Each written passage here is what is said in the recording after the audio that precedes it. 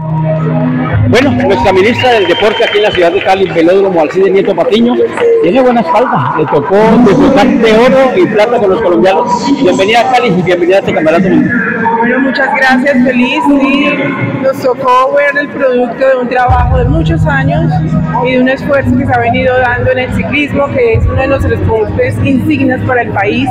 Y hoy con las mujeres nuevamente, como lo comentaba yo en la mañana, que hoy me tocó premiar una mujer y eso es una cosa maravillosa no porque por supuesto hombres y mujeres, pero sabemos que el Estado todavía tiene una deuda allí que estamos tratando de subsanar en todos los deportes, no en unos sí, no, en todos.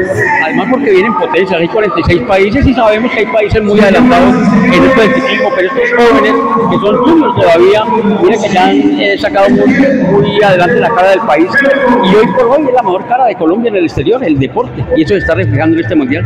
Sí, total, por eso hemos hablado en el plan de desarrollo quedaron como los embajadores del país. Nuestros atletas como embajadores son importantes y son fundamentales hoy para que este esfuerzo, lo que finalmente el deporte muestra es identidad, esfuerzo, muchísimo tesón para sacar adelante todo un proceso de preparación deportiva que se da y de alguna manera toda esta inversión que se hace en tiempo, en espacio, en dinero, pues se vea pues muy bien en estos logros que tenemos hoy. Y después del Mundial queda este escenario listico para Juegos Nacionales.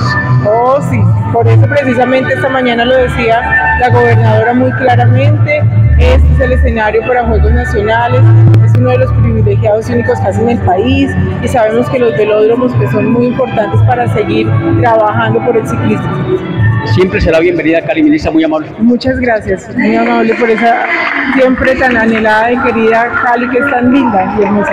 Muy bien, la ministra del Deporte, Viviana Rodríguez, en Logros para Contar.